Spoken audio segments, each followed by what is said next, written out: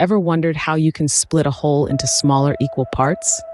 Or perhaps you've puzzled over how to share a delicious pizza equally among a group of friends? The answer to these questions and many more lies in the magical world of fractions. So, what exactly is a fraction? Imagine a whole apple.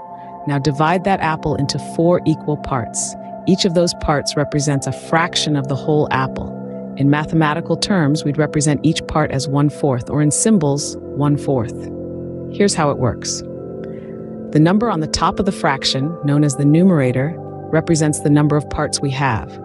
The number on the bottom, known as the denominator, represents the total number of equal parts the whole is divided into. So in our apple example, we have one part of a total of four, hence one fourth or one fourth. But what if we have more than one part? Say two parts of the apple. Well, that's where things get interesting. We'd represent two parts as two fourths, or in symbols, two fourths. Notice how the numerator changes to represent the number of parts we have. That's the beauty of fractions. Now, you might be wondering can fractions represent more than a whole? Absolutely.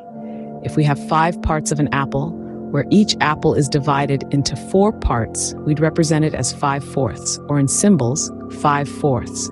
This is what we call an improper fraction, where the numerator is greater than the denominator.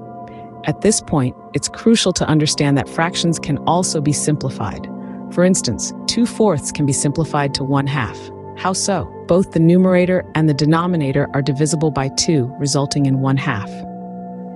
This is the simplest form of the fraction, meaning it can't be divided evenly any further. Before we wrap up, let's look at equivalent fractions. These are fractions that, although look different, they represent the same value. For example, 2 fourths is equivalent to 1 half. They look different but are essentially the same when simplified.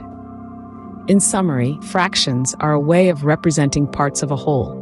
They consist of a numerator, which shows the number of parts we have, and a denominator, indicating the total number of equal parts the whole is divided into.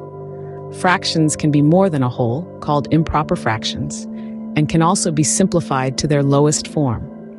And remember, equivalent fractions may look different but represent the same value. So the next time you're splitting a pizza or dividing a whole into parts, remember, you're venturing into the fascinating world of fractions.